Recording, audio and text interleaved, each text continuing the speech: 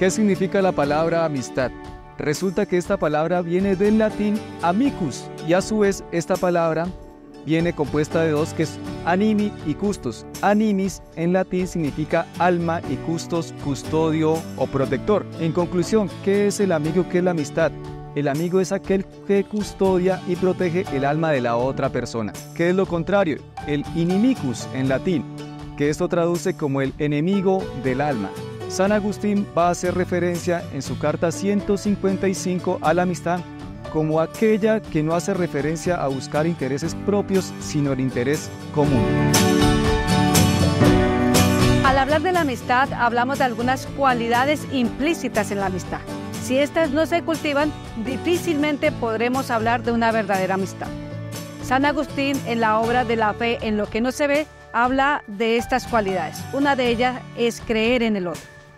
Él nos expresa que difícilmente llegamos a conocer al amigo por completo, así como tampoco nos conocemos por completo a nosotros mismos. Necesitamos creer en la otra persona. Esa es la primera cualidad, creer en el otro.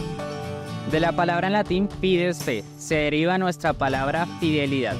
Aquí tenemos otra cualidad importante, fundamental de la amistad, ser fiel al amigo, ser leal a él de manera constante en cualquier circunstancia. Esto es absolutamente indispensable para que cualquier relación de amistad fructifique y se mantenga constante.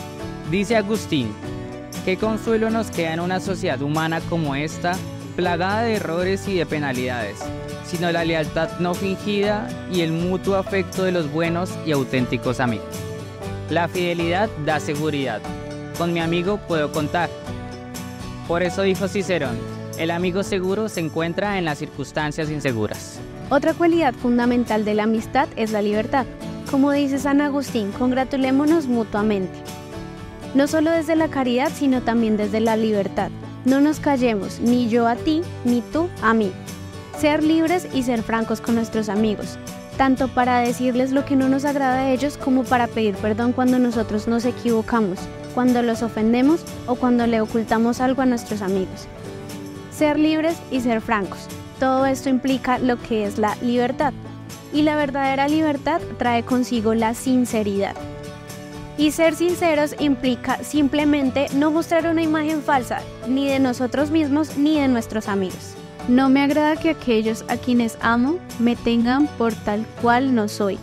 Esto quiere decir que no me aman a mí, sino a otro bajo mi nombre. Si aman no lo que soy, sino lo que no soy, soy amado por ellos en cuanto me conocen o creen de mí lo que es verdad, pero en cuanto me atribuyen lo que no reconocen en mí o lo que no es verdad, no me aman a mí, sino que aman a no sé qué otro.